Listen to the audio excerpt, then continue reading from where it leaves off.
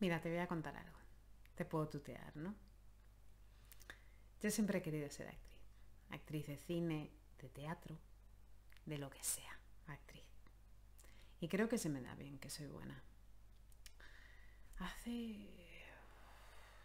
hará como 10 años fui a una audición, a un casting. Hice mi prueba y me fui.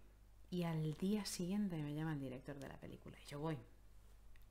Y me dice que le gusta o que soy buena y que encajaría perfectamente en su película. Pero también me dice que hay unas 50 chicas tan buenas como yo y que también encajarían en la película. Y me dice, así directamente, que si me acuesto con él, allí mismo en ese momento, me da el papel a mí. Si hubiera aceptado y no estaría aquí. Ese papel me hubiera lanzado. Estoy segura. Pero...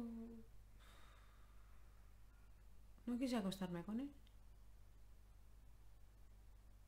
No te creas que te estoy dando un discurso feminista, reivindicativo. No. Respeto a ese hombre.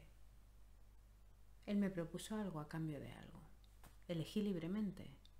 No me interesó lo que me proponía. Me fui por donde había llegado. No voy a criticarle. La película era suya.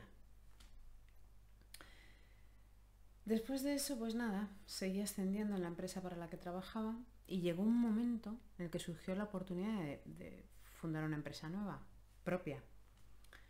No fue fácil, ni seguro. Arriesgué todo mi dinero. Y aquella pequeña empresa de material de oficina se convirtió en esto que ves ahora. ¿Cómo me habías dicho que te llamas? ¿Manuel? Manuel. Tengo 50 candidatos para este puesto de mozo de almacén. Me vale cualquiera. ¿Estás dispuesto a hacer algo que te diferencie del resto, Manuel? Libremente.